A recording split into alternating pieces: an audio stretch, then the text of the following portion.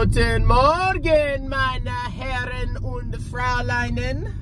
Welcome back to Strongman Personal Finance, everybody. My name is Christopher Belly. I'm a certified CPA accountant. I'm a long-term boglehead investor. I'm author of the book Stop Being a Broke Loser. It's on Amazon. And I just discovered the darndest thing this morning. So there I was in my beautiful bathrobe, which is covered in sweat and grime and dip juice and all sorts of other unspeakable things.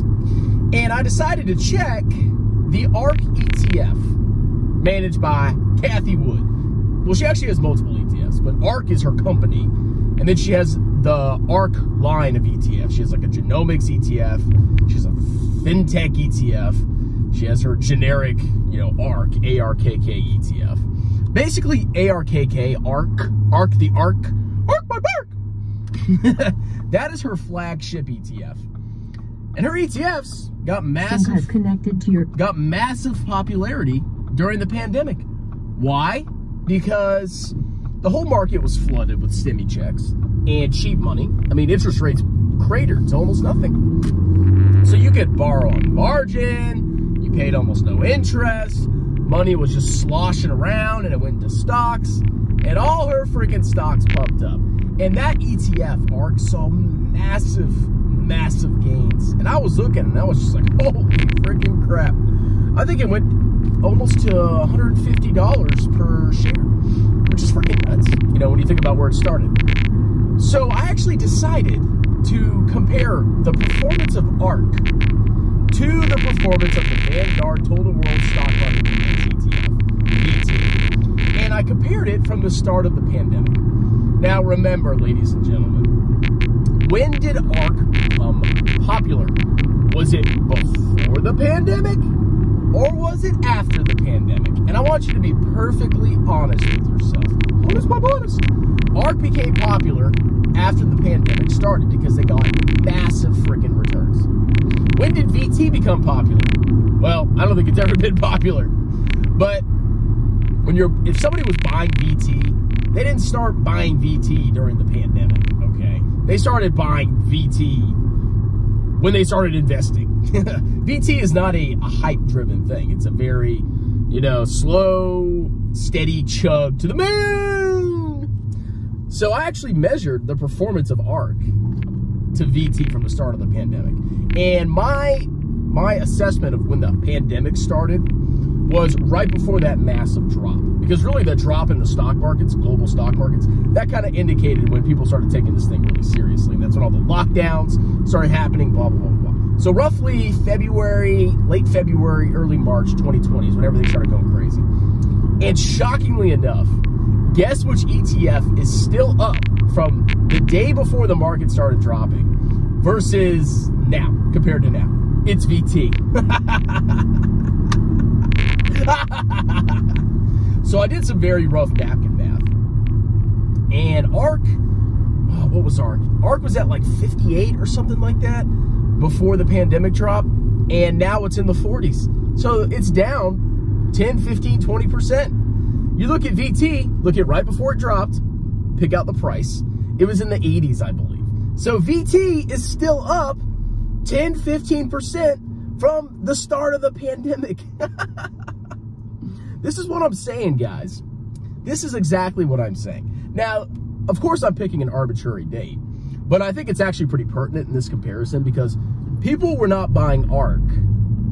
I mean, some people were, obviously, but most people were not buying ARK until after the pandemic started. I never heard of freaking ARK until the pandemic, and everybody was talking about it. ARK, ARK, ARK, It's the future. Tesla buy Tesla. Everybody bought into ARK well above where it's in now. Because that's how it works, ladies and gentlemen. People that buy stocks, even, you know, hedge funds, all these other clowns, a lot of people buy stocks only after they go up. That's just how it works. And when you look at the average cost basis of ARK, I bet you it's in the hundreds. I 100%, I 100% guarantee it. Because ARK was popular with retail investors. You know all the clowns that did Wall Street bets and bought AMC, which is getting wrecked, and G uh, GameStop, which is getting freaking annihilated. All of those clowns are the same clowns that bought freaking ARK, okay? So let this be a lesson to you all. You can laugh at VT. You can make fun of VT. Oh, its performance sucks and blah, blah, blah, blah, blah. And ARK is the future and just buy Tesla, bro. Tesla's up this year versus ARK or versus uh, VT. I, I, I'm sure it is. I'm sure Tesla's crushing VT this year. But if you take the long view, and you look at when stocks become popular and when people actually buy them, when people actually buy ETFs, you freaking lose. But if you just started buying VT 11 years ago, like one genius I know, I've always been in the market as long as Jeremy. I mean, Jeremy's got a little bit more experience than me, obviously, but I have been buying the total world since I was 21. So yeah, 11 years. And if you just keep buying the world over and over again, you're not going to get these crazy freaking returns. Okay? You're not going to have your mind blown. But what you avoid is buying some something like ARK at its peak. The more you the more you look at the market, the more you watch these YouTube channels, the more likely you're going to get sucked into that whole buy the top phase.